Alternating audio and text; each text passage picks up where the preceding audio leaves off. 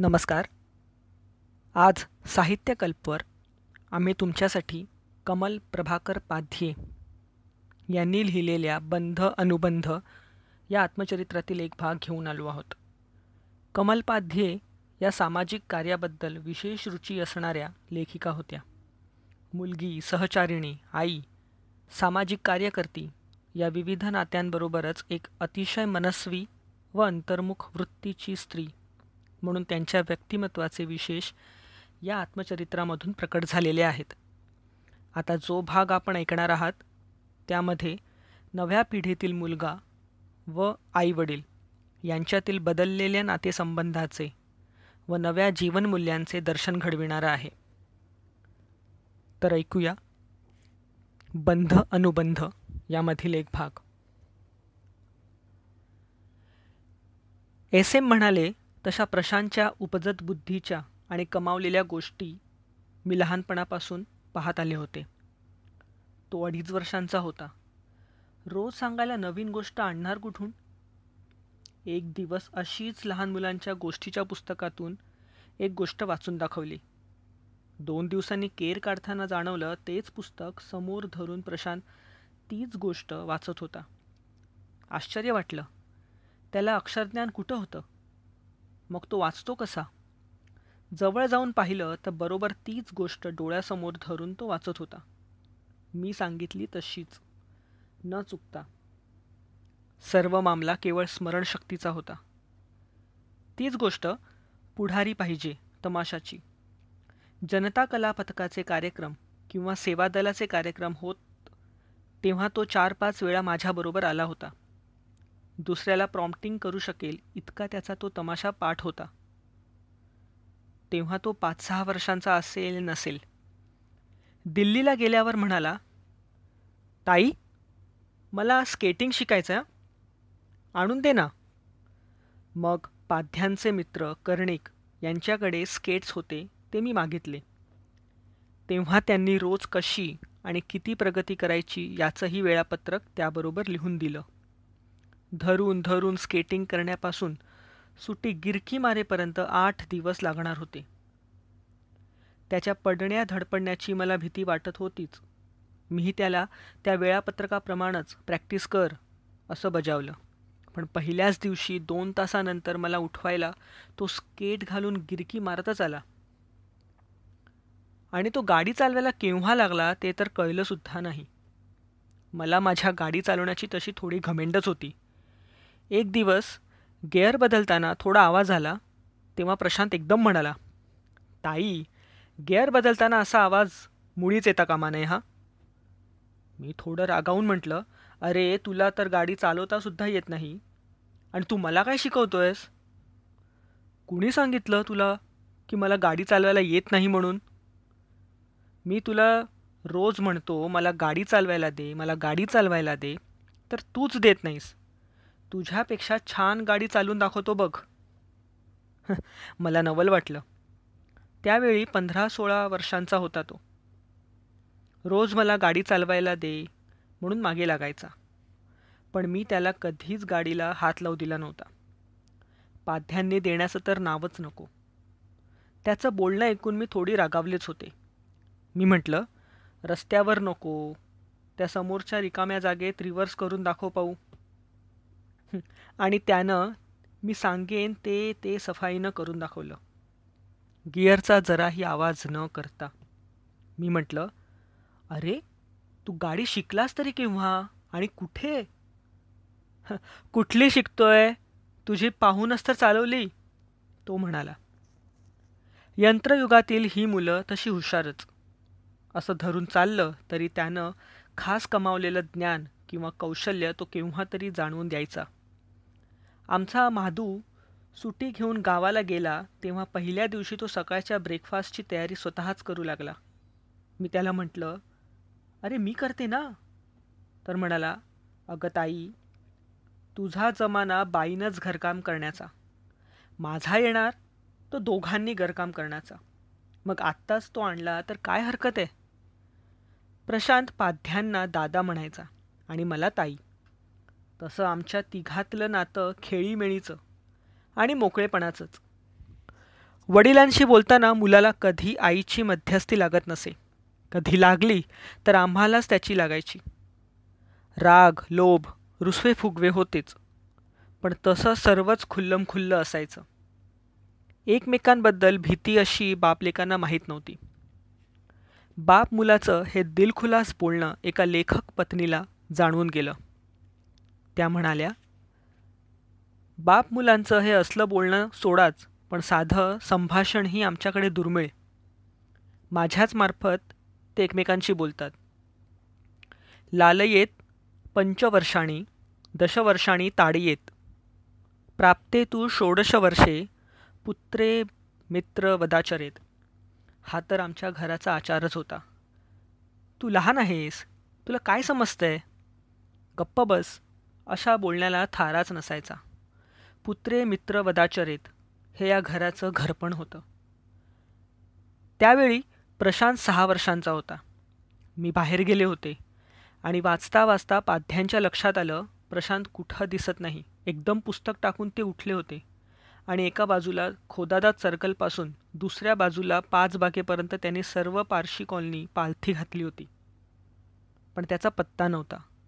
काळजीनं हादरलेल्या मनानं ते हताशपणानं खुर्चीत बसतात तोच तो कुठून तरी धावत आला. कुठल्याही प्रश्नोत्तरापूर्वी त्याला त्या त्यांच्या हातचा एक फटका खावा लागला. मी घरी आल्यावर त्यांनी मला हे सांगितलं होतं आणि म्हणाले होते खरं म्हणजे मी त्याला मारायला नको होतं पण प्रशांतच्या बाबतीत मला वाहनांची फार भीती वाटते. तो एकच फटका. सहाव्या वर्षी मारलेला पहिला आणि शेवटचा. त्यांच्या मनात सतत बोचत राहिलेला. नवव्या वर्षी त्याला लिहिलेल्या पत्रात त्याची आठवण देऊन त्यांनी त्याची क्षमा मागितली होती. त्या क्षमेनं पित्याच्या हक्काच्या सीमारेषा पार केल्या होत्या. पित्याच्या अधिकारी प्रवृत्तीवर मायेनं मात केली होती. सतरा वर्षाच्या प्रशांतला आय आय टीत प्रवेश मिळाला होता. दुर्गापूर कानपूर दिल्ली पवई कुठंही प्रवेश घ्यावा इतके भरपूर मार्क्स एकुलता एक मुलगा. दिल्लीलाच प्रवेश घ्यावा ही आईबापांची इच्छा साहजिकच. आणि मुंबईला पवईलाच जाण्याचा मुलाचा हक्क. अनपेक्षितच. मला आठवला मुंबईहून दिल्लीला आलो तेव्हा आठ वर्षांचा प्रशांत. नाईलाजानं ग्वाल्हेरच्या शिंदिया स्कूलमध्ये पाठवला. तेव्हा मिठी मारून रडणारा दिल्लीलाच घेऊन चल दिल्लीलाच घेऊन चल म्हणून हट्ट धरणारा तोल ढासळून गेलेला. आणि समोर होता सतरा वर्षांचा प्रशांत. शांतपणं दिल्ली नको म्हणणारा. पवईलाच जाणार म्हणून हटून बसलेला. सर्वांच्याच मनाची ओढाताण. पिता आणि मित्र अशा दुहेरी नात्यात गुंतलेल्या पित्याची अस्वस्थता मुलाला जाणवतच नव्हती. आईचं आईपणही पणाला लागत होतं. शेवटी प्रशांत म्हणाला ताई I don't want to get admission here I am bored here आणि पित्याचा विरोध एकदम मावळला. आईबापांच्या नजरेत मुलं कधी मोठी होतच नाहीत. उपसलेल्या कष्टांच्या बदल्यात स्वतःच्या आकांक्षा मुलांवर लादण्याचा त्यांना जणू हक्कच असतो. ती ताब्यातच राहायला हवी. स्वामित्व गाजवणारे आईबाप आणि त्याखाली गुदमरणारी मुलं चैतन्यानं सळसळलेली. त्या चैतन्याला गगनही ठेंगणं. घराच्या चार भिंतीत ते गुदमरतच. जगात भरारी मारण्यास निघालेल्या ते गुदमरणं बोर करणारच. मातापित्यांच्या मायाममतेचा अर्थही इथे हरवलेले असतात. स्वतःच्या कल्पनाविलासात दंग झालेल्या मुलांचे स्वामित्वाची पाखर आणि मायेची पाखर यातल्या सीमारेषा ओळखण्याचं तसं ते वयही नसतं पिता आणि मित्र ममत्वाची गुंतागुंत ती जाणवायला हळूवार भावनाशीलच बनायला हवं. आणि स्वतः हळवं बनल्याशिवाय ते कसं शक्य होणार? त्या वयालाच ते हळवेपण न मानवणारं. शेवटी प्रशांत पवईलाच गेला. जाताना म्हणाला ताई मी जिनियस नाही पण पाच वर्षाच्या कोर्सला सहा वर्ष घेणार नाही. मग तुझ्यासाठी मुंबईला आपला ब्लॉक ओनरशिपचा करून घेऊ का? पैसे दिले की मालक तो आपल्याला ओनरशिपचा करून द्यायला तयार आहे? मी विचारलं. प्रशांत पटकन म्हणाला छे माझ्यासाठी तसलं काही नको हां. पण तुमच्यासाठी घ्यायचा तर घ्या. मी म्हटलं अरे तुझं माझं काय? एकदा घेतला की तो सर्वांचाच की? अगं तसं नाही ग पण तू म्हणालीस तुझ्यासाठी म्हणून म्हटलं. मग काय झालं? आत्ता तर तो तुझ्यासाठीच घेणार ना? आम्ही इथंच असणार. हो पण म्हणूनच सांगतो माझ्यासाठी ब्लॉक हे तू मनातून काढून टाक. अरे पण का? म्हणजे मुलांसाठी हे घ्यायचं ते करायचं असा विचार आईबाप करतात आणि खर्च करतात. मग आपण एवढं करतो तर मुलांनीही आपल्यासाठी हे केलं पाहिजे ते केलं पाहिजे असं त्यांना वाटत राहतं. त्यात मुलांपेक्षा त्यांच्याच इच्छा महत्त्वाच्या असतात. मग त्या इच्छांचे हक्क होतात. मला हे असलं काही व्हायला नको वाटतं. खरं तर दादा रिटायर्ड झाले की मुंबईला तुम्हाला राहायला ब्लॉक पाहिजेच. माझं काय मी मेटलर्जी घेतलं आहे कुठं जाईन कुठं राहीन काही नक्की नाही. म्हणून म्हटलं माझ्यासाठी ब्लॉक नको. आईबापांच्या इच्छांचे हक्क होतात. हे तरी मला खटकलंच. मी म्हटलं म्हणजे आम्ही तुझ्याकडून कसल्याच अपेक्षा करायच्या नाहीत का? आईबापाचं कर्तव्य जबाबदाऱ्या आणि मुलांचं कर्तव्य. जबाबदाऱ्या याला काहीच अर्थ नाही का? आणि मुलाच्या किंवा आईबापांच्या एकमेकांपासून कसल्याच अपेक्षा नसाव्यात का? केवळ कर्तव्य किंवा जबाबदारी यापेक्षा या नात्याला अधिक खोल अर्थ नाही का? प्रशांत एकदम गोंधळून गेला. थोड्या वेळाने म्हणाला तसं काही मला म्हणायचं नव्हतं ग. मला नीटचं सांगता येईल की नाही कुणास ठाऊक. मला वाटतं मुलांना त्यांच्या इच्छेप्रमाणे शिक्षण देणं आणि स्वतःच्या पायावर उभं राहायला लायक बनवणं ही आईवडिलांची जबाबदारी. बस. एवढंच. पण डबोलं ठेवणं त्यासाठी जन्मभर कष्ट करीत राहणं आणि मग आम्ही तुझ्यासाठी एवढ्या खस्ता काढल्या म्हणून त्याला ते जन्मभर ऐकवत राहणं. आम्ही तुझ्यासाठी आमच्या इच्छा मारल्या आता तू त्या पुऱ्या कर असा हक्क दाखवत राहणं हे चूक आहे. मी त्याच्याकडे पाहतच राहिले. इतक्यात तोही सावरला. म्हणाला बघ ताई माझं आयुष्य हे माझं आहे. ते कसं घालवायचं? ते माझं मीच ठरवणार. तुम्ही अनुभवाचा सल्ला द्या पण तुम्ही मानलाच पाहिजे हे बरोबर नाही.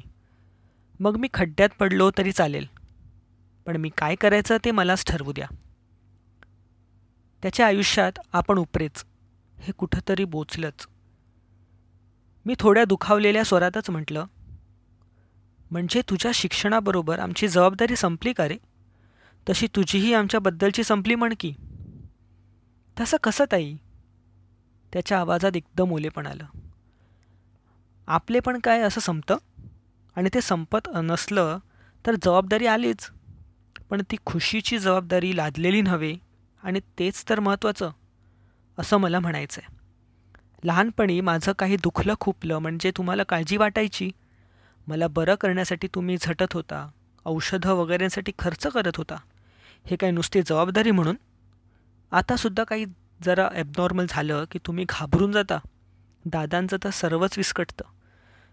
तसंच तुमचं नेहमीचं रुटीन कुठल्याही कारणानं विस्कटलं तर मला बरं वाटेल का? ते सुरळीत करण्याची जबाबदारी माझीच. तुम्हाला बरं करायला जे जे करायला लागेल ते मी करणारच. पण म्हणून काय तुमच्या संबंध आयुष्यावर हक्क सांगण्याचा मला अधिकार येतो का? प्रेमानं जवळ राहणं हेच खरं. केवळ नाती कर्तव्य यातून जवळ राहण्यात काय अर्थ? बघता बघता किती वर्ष उलटली. दिल्लीला तुझ्याजवळच राहणार म्हणून रडणारा प्रशांत मला त्याच्या जीवनाचं तत्त्वज्ञान सांगण्याचा प्रयत्न करत होता. माझं भविष्य मीच घडवणार म्हणून हिमतीनं बोलत होता. तरुण वयाचा स्वप्नविलास. शिखरावर चढेन नाही तर खड्ड्यात पडेन म्हणण्याचं अविचारी साहस की वास्तवाची गंभीर जाण असलेल्या मनाचा शोध काहीही असलं तरी त्या मोकळ्या बोलण्यानं वात्सल्य आणि मैत्री या गुंतागुंतीच्या भावनांना नकळत अर्थ येत होता. प्रशांतला पवईला पाठवताना मित्रत्वानं पितृभावनेवर मात केली तरी पिता दुखावलाच. पित्याची निरपेक्ष अनामिक काळजी पुत्राला समजलीच नव्हती. पण माईची अस्वस्थता रोज पाहताना आणि अनुभवताना मी मात्र बेचैन होऊन बघायची पित्याच्या वत्सलतेचं ते स्वरूप मातेच्या वत्सलते इतकंच उदात्त अपेक्षारहित होतं. एस एम दिल्लीला आले तेव्हा ते सांगत होते प्रशांतचं पत्र आलं आहे छान लिहिलं आहे इंग्रजी मोठं सुरेख लिहितो. तसा एस एमचा आणि प्रशांतचा खास पत्रव्यवहार असे. त्यात आमचा उल्लेख खुशालीपुरताच अधिक. बाकी हितगुज त्या दोघांचंच असे.